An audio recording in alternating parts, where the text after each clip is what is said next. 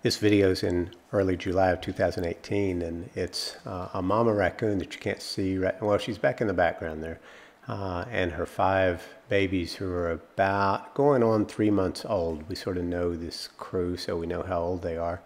And the one who's handling the ball in there likes to play games. He kind of plays these imaginary games in his head, uh, where he's kind of acting like other other raccoons are messing with him, even though they're not and then he goes and sort of attacks them uh, like they asked for it, even though they didn't.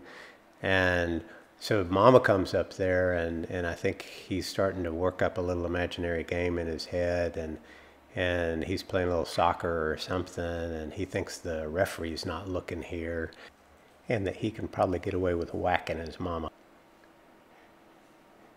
Mama's very good natured about it and shakes it off. Here's a little slow motion get that whole shoulder in. I think he probably has a career in professional soccer waiting for him.